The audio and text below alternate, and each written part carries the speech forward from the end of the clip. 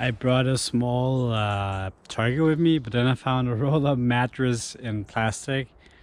And I thought that would be a good target. And of course, as the idiot I am, I in the, the last minute I left home, I was like, nah, I don't need my broadheads. It's okay. Those will be great here because I'm not sure if my wooden arrows will stick, but I brought three carbon carbon arrows that will stick, hopefully. 30 pound bow, Drake Mongolia. Let's see how that goes. And it's gonna be from seven meters away.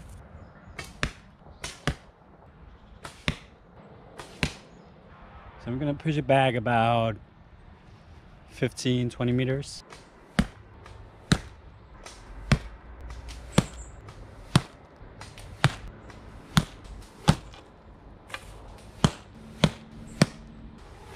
And I had four that bounced off because of, yeah, look at that tip. uh, worst condition, but I made some new arrows, beautiful arrows. Not gonna test them because they're too beautiful.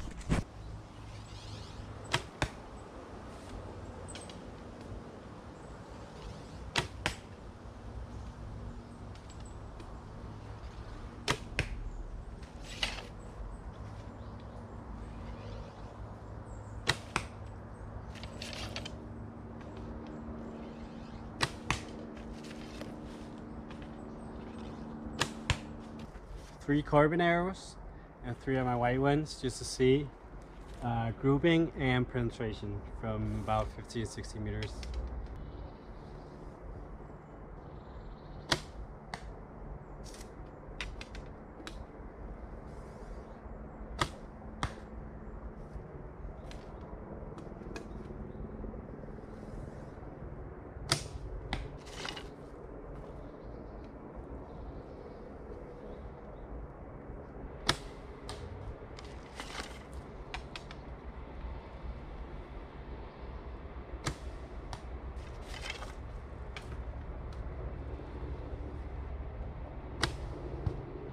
Okay, so let's see.